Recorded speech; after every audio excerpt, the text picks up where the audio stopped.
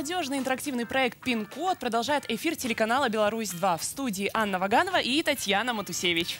Друзья, вы знаете, что красота – это достаточно такое субъективное понятие, и в каждой эпохе существовали свои предпочтения. Вот, например, в Древней Греции загорелая кожа считалась некрасивой, неприемлемой. Так что, Анька, ты была бы красотка просто, да? А в 18 веке француж... француженки считали хорошим тоном сбривать свои брови и наклеивать шкурки мышей. В общем, э, это очень э, Так себе. гадко, да, так себе. И сегодня мы поговорим про красоту и все, что с этим связано.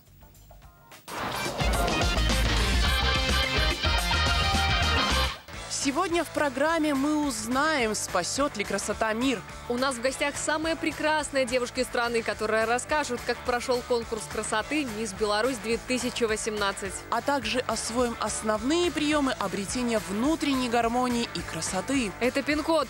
Не пропусти.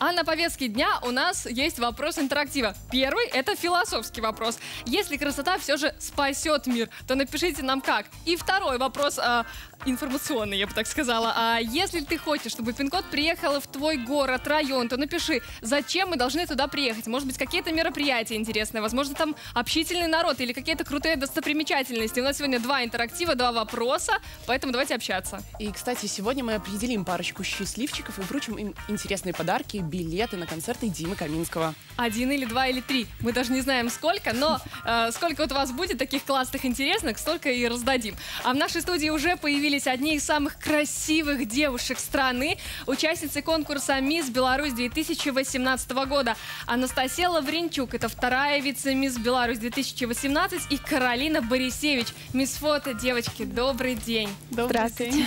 Девочки, смотрите, у нас сегодня такой э, интересный философский вопрос интерактива, поэтому и, и мы начнем с философского вопроса. Скажите, считаете ли вы, что ваша красота спасет наш мир? Смотрите, можно красоту рассматривать как внутреннюю, так и внешнюю. Так. И я думаю, что в контексте этого вопроса мы все-таки рассматриваем внутреннюю красоту. А внутренняя красота — это в первую очередь а, наше личностное качество. Это как э, и доброта, и искренность. И если рассматривать эти качества, то я думаю, что да, такая красота может спасти мир. Таня, не по сценарию вот сейчас пойдет- пойдут вопросы. Девочки, а у вас был интеллектуальный конкурс? На кра- Да. Вот Да. сразу видно, что девочки готовились, понимаешь? Они знали, что примерно такой вопрос может быть у них все-таки. И да, и не проскочит, да, либо нет. Нужно развернуто, красиво ответить. Ладно, рассказывайте, как впечатление после конкурса? Неделя прошла. Э, Впечатления самые положительные. Мы до сих пор с девочками общаемся, списываемся, созваниваемся. Это То очень есть дружба приятно. на проекте была. Да, Конечно. да. И что, никаких вот этих вот э, стеклышек э, в туфельках нет? Подпилить Такого не было? Нет. Нет, нет, нет. Нет. Наоборот, все друг другу помогали, поддерживали и в любом вопросе всегда можно было обратиться. Вот, а какие вопросы, э, какие сложности, с какими сложностями сталкивались на конкурсе? Ну, у нас не было сложностей, но вот по вопросам даже банально одолжить что-то из косметички или помочь с прической, помочь с какими-то э, другими вопросами, это без проблем. То есть каждая девочка, да, помогала другой, и конкуренции особой не было. А как вот ваш родной город поддерживал, помогал? Родные, близкие, друзья? Писали, звонили, присылали смс Да. Потому что мы были на расстоянии, поэтому так помочь трудно было. Если я не ошибаюсь, по правилам конкурса в течение двух лет после э, Мисс Беларусь нельзя выходить замуж. Да. Да. А что делать? Как быть? Вот если встретите свою вторую половину и все, вот никак. Упрется молодой человек и скажет, «За, а я не могу контракт, что делать? Ну, я не думаю, что замужество это настолько важно, что нельзя дождаться этих двух лет. А ты как думаешь? Придется ждать. Что еще делать? Нет, конечно, можно выйти замуж, но тогда придется отказаться от титула. Ну вот если будет стоять а, титул или муж, что вы выберете? Я думаю, если это все-таки рассматривается молодой человек как муж, то он должен понимать э, и принимать все Потому что обязательства и обязанности. наверное, у девочек пока нет, они, никто не смотрит, и поэтому, знаешь, боятся говорить, как оно было бы на самом деле. Ну, а дает ли конкурс путевку в жизнь? Давайте узнаем у финалистки Мисс Беларусь 2012 года Ольги Рыбакиной. Оля, проходи к нам. Добрый день тебе. Оль, привет. Э, Расскажи, ты была в десятке самых красивых пятерки самых красивых девушек страны.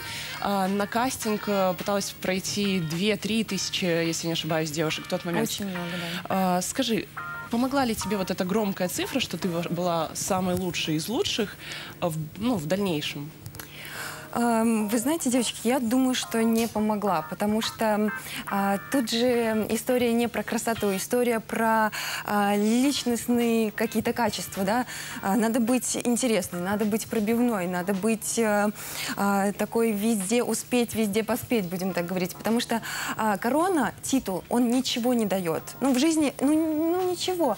А, вот с моего конкурса прошло уже 6 лет. Шесть лет – это достаточно большой срок.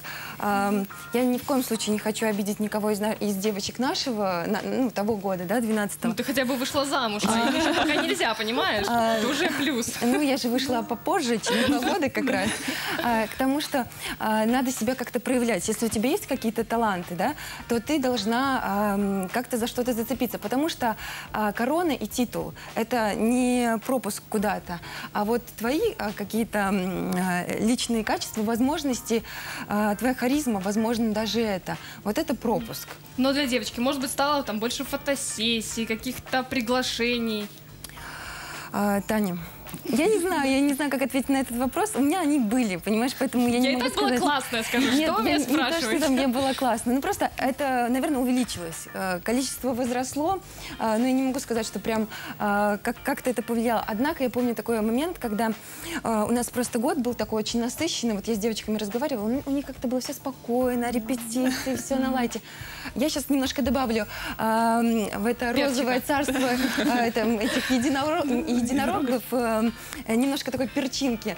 У нас был трэш. У нас был трэш. У нас э, был конкурс наподобие топ-модель по-американски.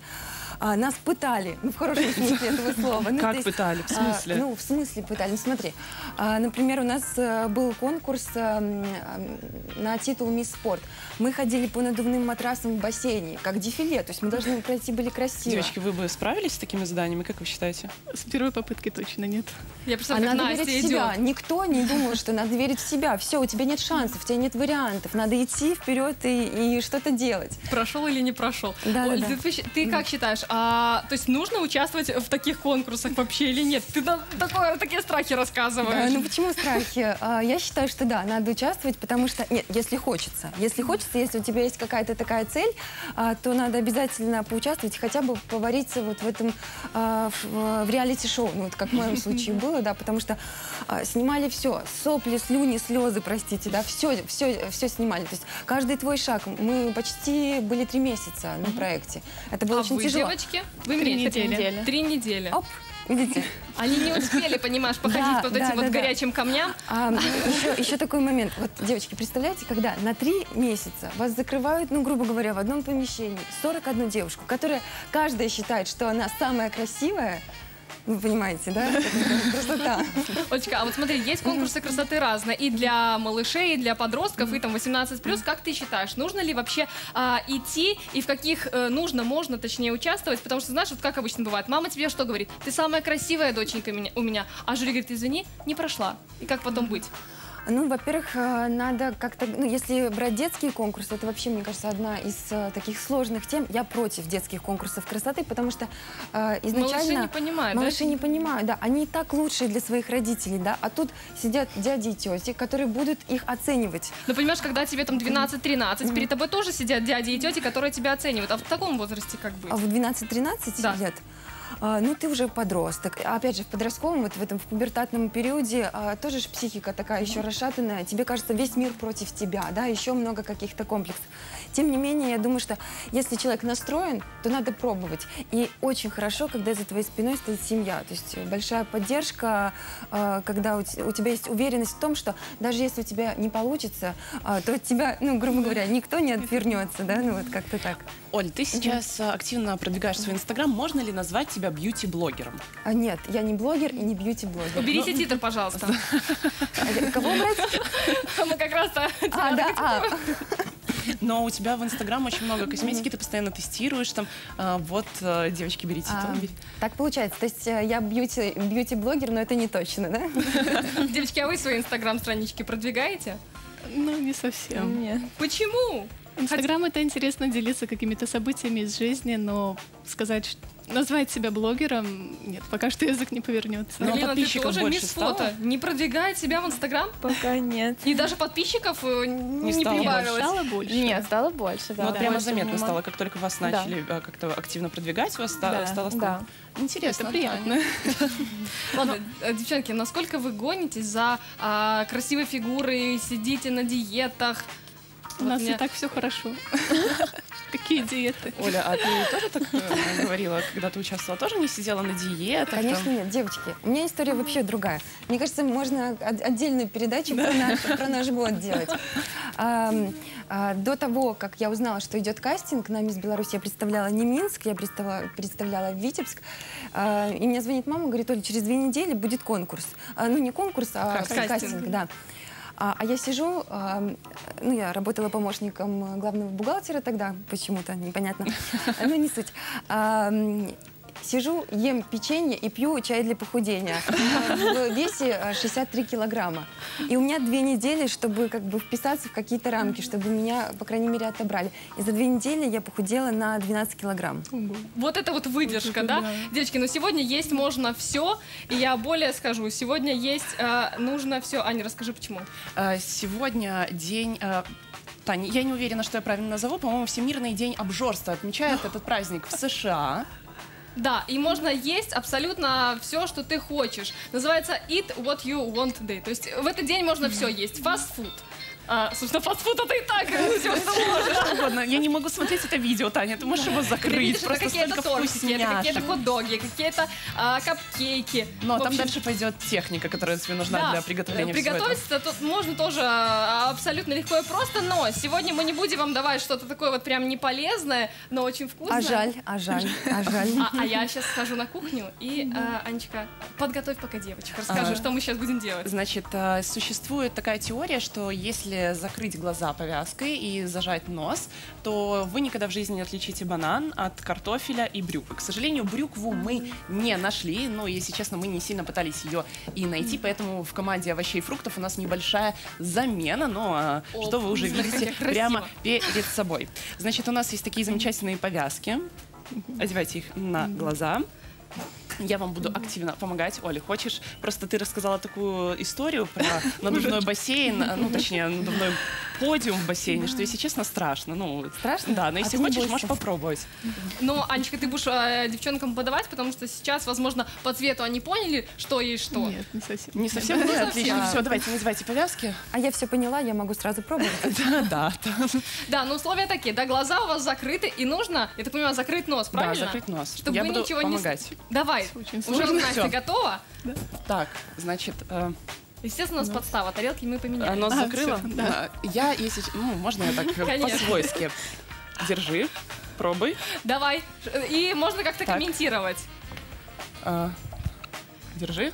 Э, Чисто по она закрывает, консистенции да, она понятно, закрывает. что это яблоко. Слушай, Так. зачем мы ей рассказали, всё что понятно. э, мы будем ей давать? Оль, с тобой А вы не неинтересно, говорили. Да, я Ты все сразу бы угадала. Да, да, да. Я А, а, взрослая давай женщина. Да, подрастающее поколение, видишь? Да не надо так бояться, ничего мы не подменили тут. Ну так, а, Так. значит, а, пункт номер один. Настя нас угадала, Каролина нет, правильно? Яблоко. А, один-один, ладно. давай А, второе. Раунд два.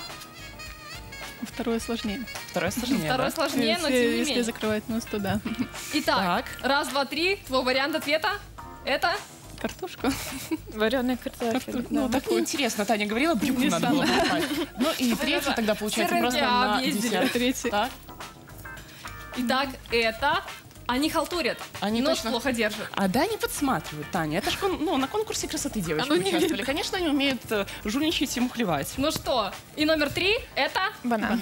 От... ск- Хотела сказать, Без вкуса. откройте свое лицо. Вы можете снимать маски. Без вкуса была только картошка. Ну, Просто если все остальное мы думали, что вы действительно не угадаете, потому что мы с Таней проводили этот эксперимент пять раз, собственно говоря, так и И пообедали. брюку так мы и не угадали, А, потому что у нас ее и не было. Девочки, спасибо вам большое за красоту, за то, что вы такие а, классные, милые и пришли к нам в гости. Спасибо Олечка, вам. Спасибо. Спасибо, спасибо, спасибо. Ну а сразу после рекламы у нас в студии инициативный подросток, который изменит мир к лучшему.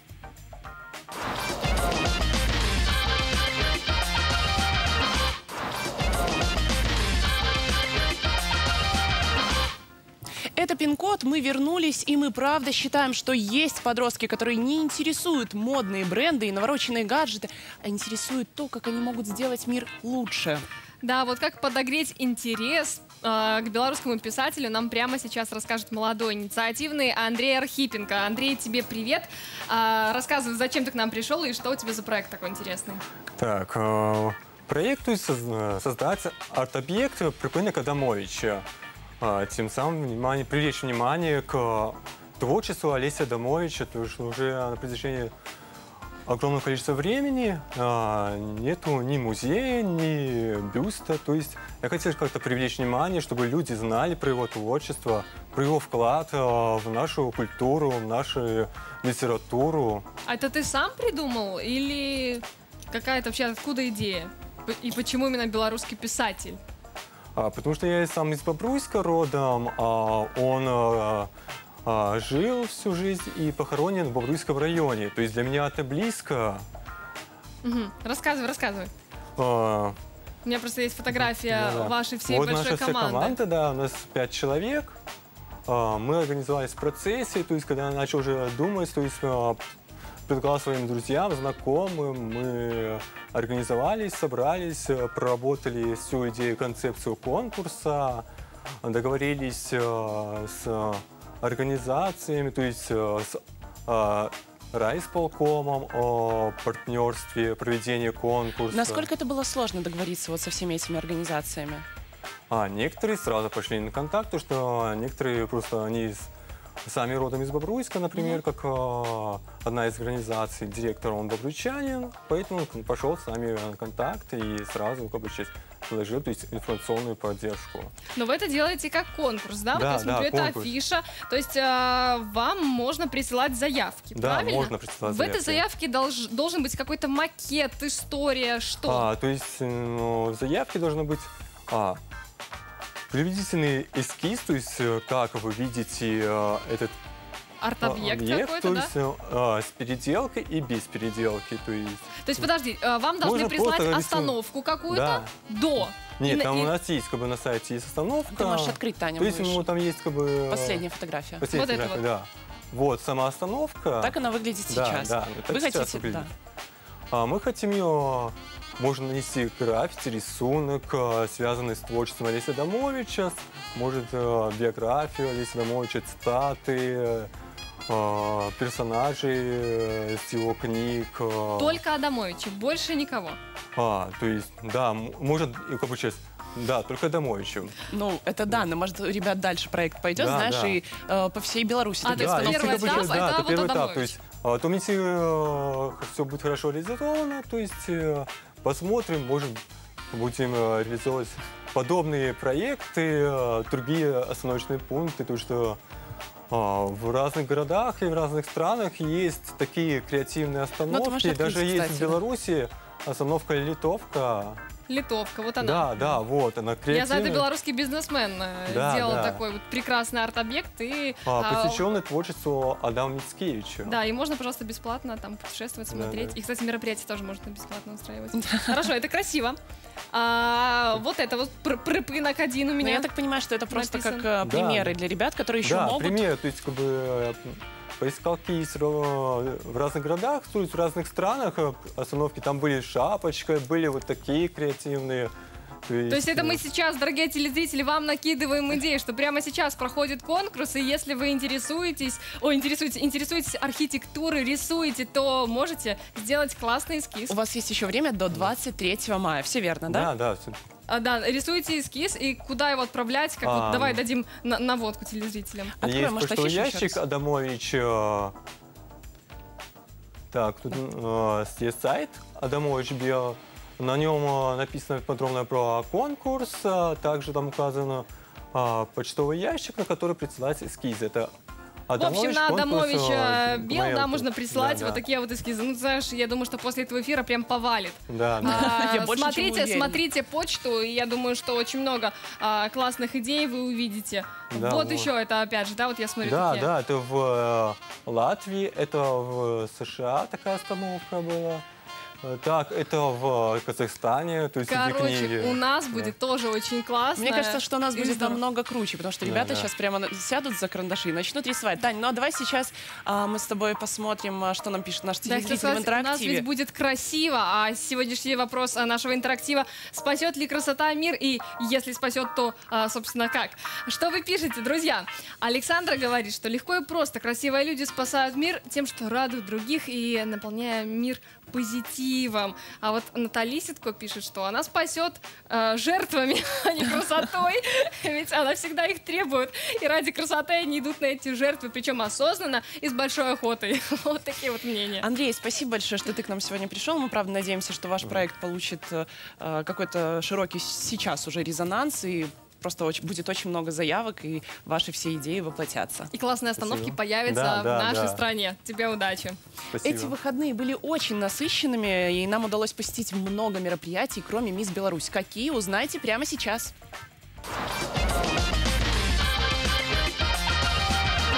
Сегодня мы приехали на фестиваль YouFest а, в одно из самых модных минских пространств. И приехав сюда, мы обнаружили маленькую такую табличечку, даже листик.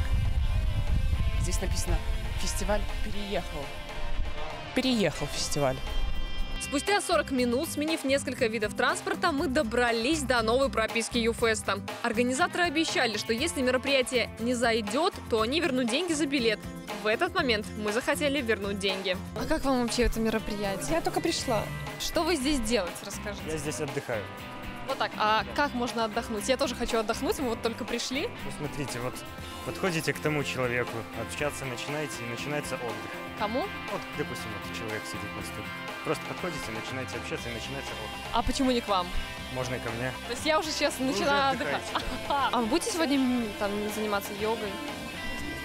Думаю, что да. А вы умеете? Приятного аппетита вам. Спасибо. А что вы едите? А, фалафель. Что делает на этом мероприятии? Зачем сюда вообще мы пришли? Потому что мы вот только зашли, мы еще толком не освоились. Куда идти, а, где там подслушать, где подсмотреть? Расскажите, подскажите нам. Большое количество образовательных мероприятий по саморазвитию, по э, самореализации, можно так сказать. А фалафель где, говорите? Там? Ага, спасибо. И поскольку фестиваль нам не зашел, мы отправились на выставку СМИ. 5 мая на выставке СМИ было действительно жарко. На стенде «Беларусь-2» каждый мог найти себе развлечение, как говорится, по душе. Здесь вам и футбол, Опасно, опасно! Голкипер два сейва подряд. Вы посмотрите, что творит. Что творит? и викторина конного, и программы «Копейка в копейку», Ставьте лайки, смотрите телеканал «Беларусь-2» и да пребудет с вами сила! и настоящий танцевальный флешмоб. Самое главное, танцору что должно не мешать? Желание. Ну и самое главное, открытый кастинг новых лиц для телеканала. На него, кстати, пришло более полусотни человек. В эфире «Ничего себе News» программа «Вишенка» на телевизионном торте. В ближайшие пять минут Только самые вкусные новости. Со всего мира. Экономисты, домохозяйки, студенты и школьники. Попробовать себя в роли ведущего могли все желающие. Каверзные вопросы сотрудников телеканала и чтение новостей суфлера. Справлялись с нашими заданиями не все. Программа «Вишенка» на телевизионном торте. От нуля до десяти. Насколько вы оцениваете ваше умение чтения по суфлеру? Лично себя семерка, знаю еще, что, что надо поработать. Мировые СМИ обратили внимание на историю 76-летней Любови Мореходовой, которая живет в глухом хуторе на берегу, на берегу Байкала. Впрочем, никто с плохим настроением с нашего стенда не уходил. Разве что некоторые ведущие телеканала начали волноваться, а не прогонит ли их кто-то с места под телевизионным солнцем. Мы с любовью прощаемся. Наша песня допета. Мы уверены, его лучиков хватит на всех. Желаю телеканалу «Беларусь-2» позитивных эмоций и смотрите «Беларусь-2». Это клевый телеканал.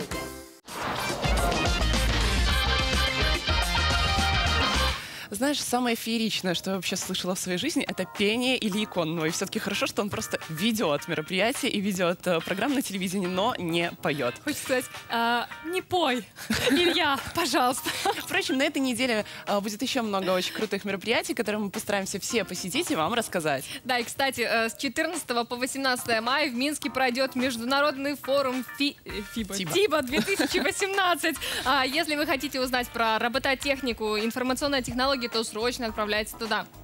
Тань, признайся честно, ты хоть раз в жизни на йогу ходила? Честно, ни разу. А ты? Я вот один раз сходила, и, если честно, вот вместо того душевного равновесия, душевного баланса, который я должна была словить, я получила какое-то раздражение, потому что мне не, просто не понравилось, была какая-то злая. И мне кажется, что э, только преподаватель по йоге нам сможет объяснить, как словить эту душевную красоту и гармонию души.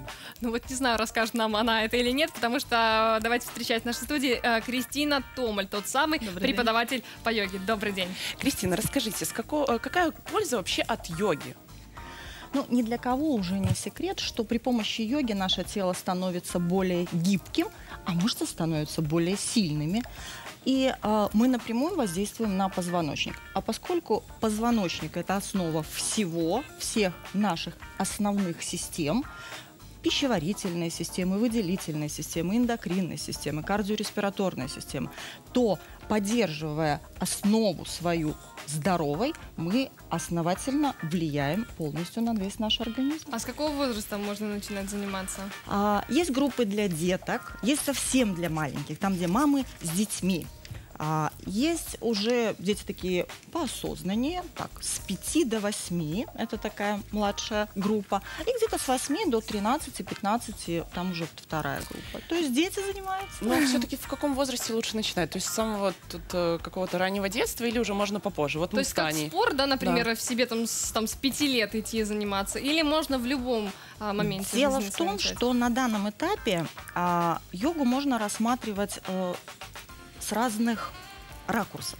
Конечно, если мы рассматриваем йогу как спорт, ну, допустим, у нас нет йоги как спорт, а в Индии есть йога как спорт, ну, конечно, это дети, безусловно.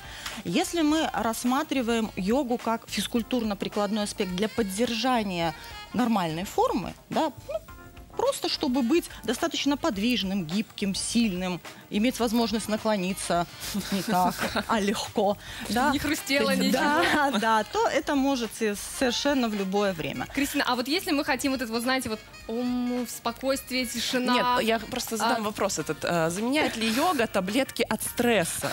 Ну или так. А, йога напрямую воздействует на нашу эндокринную систему. И при помощи дыхательных техник, таких как пранаяма, при помощи медитативных техник, мы действительно снимаем состояние стрессовое, мы действительно можем справляться с депрессией, и мы можем контролировать это при помощи йоги. Вот сейчас вот конечно. эти вот все техники, я надеюсь, зрители что-то услышали, ничего не поняли. Мы тоже с вами, э, на самом деле, не особо в теме. Давайте а, пару секретов раскроем нашим телезрителям, но не сейчас, а после рекламы на Беларусь-2.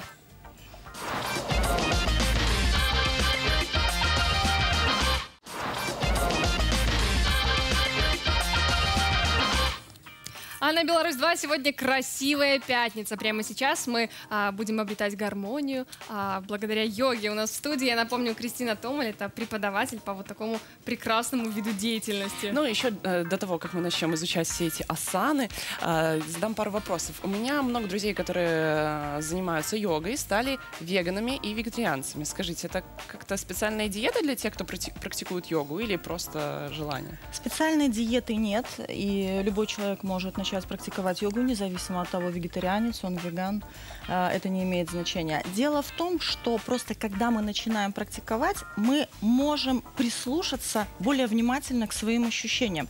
И мы зачастую отказываемся от нездоровой, вредной химической пищи абсолютно неосознанно и не предлагая, не прилагая к этому каких-то усилий. То есть организм сам понимает, что ему нужно, а что ему не нужно. Кристина, а вот дома можно практиковать? Дома Пробовать? можно и нужно практиковать, потому А что, что самостоятельная практика не заменит. Как э, это ничего. сделать? Покажите нам. А, ну, в первую очередь, для того, чтобы практиковать дома, нужно для себя выделить Ковер. время.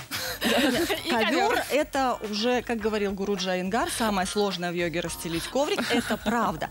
Но еще нужно выбрать время, когда вы его будете расстилать. То есть, если вы выбрали время, когда вы это будет, пусть вы определили для себя 15-20 минут, полтора часа в лучшем 15-20 виде. достаточно, Это зависит от цели. Если мы хотим успокоиться или наоборот мы хотим взбодриться, то в принципе можно взять абсолютно прикладной аспект, взять какую-нибудь асану, ее сделать, ну может 2-3, и вы уже почувствуете изменения. Если вы, конечно, хотите полноценную практику, ну безусловно это примерно полтора часа вас займет. Покажите нам хоть что-нибудь. Допустим, Хоть вот что-нибудь. как э, лучше уроки выучить э, поза, пожалуйста. Как Окей. запомнить сценарий. Очень актуально, знаете.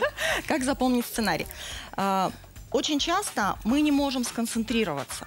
То есть мы что-то думаем, мы там думаем, здесь думаем, да, и мы не можем поймать вот этот вот баланс внутренний. А поскольку у нас тело очень взаимосвязано с нашим ментальным состоянием, я покажу, как поймать баланс внутренний через тело. Так, Это асана пожалуйста. называется поза дерева, врикшасана. То есть мы остаемся на опорной ноге. Не забудьте потом поменять ногу. У меня сейчас левая нога опорная, правая нога рабочая. Таз на одном уровне. Кисти складываем перед грудью на мосте. И фиксируем это положение примерно на минуту. Больше не надо. И мы уже автоматически запоминаем? Если вы в этом положении чувствуете себя абсолютно комфортно, то есть вы уже перестали нервничать и просто задумались о том, как бы, не, хорошо. как бы не упасть из этого То, положения, можно закрыть глаза. А А кто-нибудь пробовать будет со мной? А кто-нибудь Самое главное, чтобы никого дома не было, понимаешь, Да, чтобы никто не да, толкнул. можно закрыть глаза. Это асана активизирует наши способности на Ну, удержание давай, баланса. давайте, ну, может быть, да. попробует Ножку я, конечно, так не сделаю. Ну, Ну, допустим, может, вот так, да. пожалуйста. Да, да, и закрываем сложили, глаза. И закрываем глаза. И меня Я бы начинает тебя оттолкнула, но да, не да. буду. Вот когда перестанет шатать физически, перестанет шатать ментально. Так оно и есть. Вот так. И да, давайте какую-нибудь еще Ну, давай еще парочку, да, чтобы вот мы... Давайте так. Если мы чувствуем, что мы совершенно э, взбудоражены и не можем э, успокоиться, да, есть очень простая асана, которая поможет это сделать. Мы садимся на колени пятки, это могут сделать все, кто угодно. Опускаем голову Сомневаюсь. вниз и кладем голову на пол. Остаемся в этом положении до 5 минут. У нас только, к сожалению, нет Мы не будем прямой. столько оставаться, но действительно это очень просто и это очень эффективно. А, если говорить Вот для еще- за- закрепления Да, эффекта, для третье упражнение. закрепления эффекта мы возьмем, ну поскольку я так понимаю, здесь есть желание на именно балансировочку сделать, да, мы Ну, возьмем вообще для того, еще- чтобы гармонизировать свою душу, чтобы красота вот прямо так... Итак, давайте, Давайте. тре- третья короночка. А, давайте еще один балансик. Мы захватываем стопу за большой палец, выпрямляем ногу, делаем вдох Э, и опускаем корпус к опорной ноге. Оставайтесь до 30 секунд в этом положении. Затем мы делаем вдох. Плавно уводим ногу в сторону. Ну, помогайте, помогайте, коллеги. Да, да, давай, да, да. пожалуйста. А взгляд Пожалуйста. уводим в противоположную. Взгляд, пожалуйста. Тань, давай, еще скажи что-нибудь. нам нужно практиковаться, Кристина. Спасибо вам огромное. Нужно. А, я думаю, что после эфира мы как раз этим и займемся. Кристина, спасибо большое, что вы к нам сегодня пришли.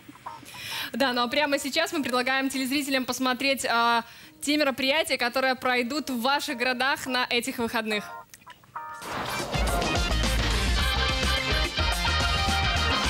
Гордость всемирного искусства, сын Витебской земли, мастер с душой ребенка. Так о Шагале говорят сегодня. Но какими были юные годы художника, его первая любовь? Об этом и не только в этюдах памяти на экспериментальной сцене театра имени Якуба Колоса. Старт в 6 вечера, стоимость билетов 9 рублей. В Могилеве сойдутся звезды для лучших танцоров страны в рамках фестивального проекта «Звездочет». В программе запланировано не только выступления участников в различных танцевальных жанрах, но и мастер-классы от членов жюри. Так что welcome, как говорится, в молодежную столицу Беларуси 2018 за яркими эмоциями, впечатлениями, обменом опытом и новыми победами. Лучший объект культурного туризма Беларуси 2012 года Гомельский дворцово-парковый ансамбль предлагает посетителям побывать в резиденции графа Румянцева и князя Варшавского Паскевича. Не проходите мимо Зимнего сада, там вы увидите более шести сотен растений. Самое старое было посажено в 1888 году. А любителям активных развлечений тоже найдется занятие по вкусу – городок аттракционов. По выходным дням экспозиция открыта с 10 утра и до 6 вечера, а со вторника по пятницу с 11 до 19 часов. Барановичи! Второй этап Кубка виртуозов руля едет к вам. В эту субботу на площадке возле Ледового дворца вас ждут парные заезды на трех трассах с различной конфигурацией. Заезды будут проводиться как параллельная схема движения, так и последовательная гонка преследования. Для зрителей будут проведены розыгрыши призов от партнеров мероприятия, а ГАИ города проведет свои конкурсы на знание ПДД. Старт в час дня, вход свободный. А в Гродно в эту субботу состоится фестиваль волшебных шаров. Пройдет мероприятие в парке имени Желибера. В программе конкурсы для детей и взрослых, световое шоу, живая музыка и многое другое. Никаких возрастных ограничений нет, поэтому приходите всей семьей. Начало в 9 вечера, вход бесплатный. А если вы хотите узнать про судьбы наиболее известных гродненских фабрик, то сходите на выставку в Старый замок, где представлены уникальные экспонаты, созданные в Гродно сотни лет назад. Стоимость билетов от 3 до 6 рублей. Даня, что ты делаешь? Я, между прочим, претендую на титул Вива Ровер. Тань, ты вообще о чем сейчас? Ты что, не знаешь, в эту субботу пройдет велокарнавал, на котором я планирую себя показать во всей красе. Так, ладно, во сколько и куда мне подъезжать? А, площадь Победы в час дня. Умеете играть в теннис или просто нравится этот спорт, приходите в субботу на любительский турнир. Для новичков участие бесплатное. Для тех, кто будет пробовать свои силы не в первый раз, придется заплатить 40 рублей. С 16 до 21 на победителей 63.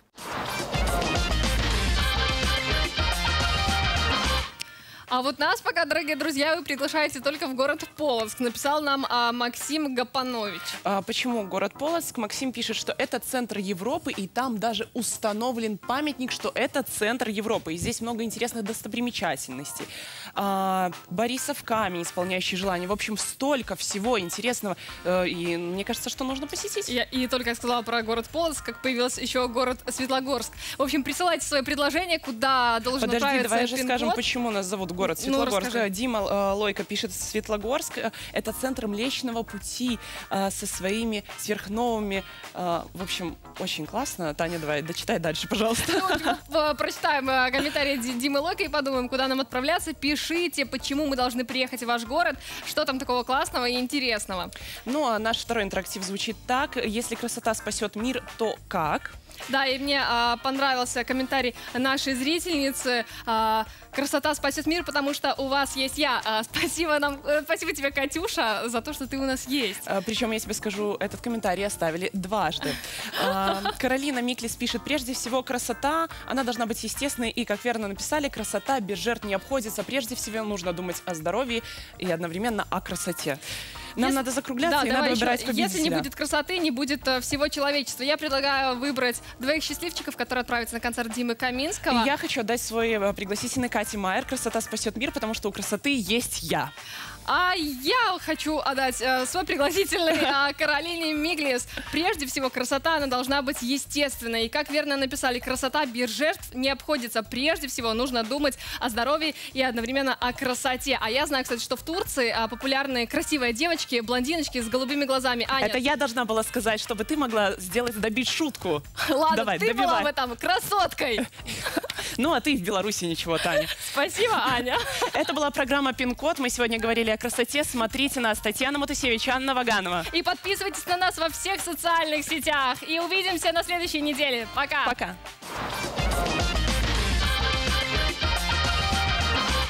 Смотри пин-код на Беларусь 2. Рваные джинсы, странный цвет волос, твой внешний вид на пике моды, а родители почему-то хватаются за голову. Давай разберемся во вторник.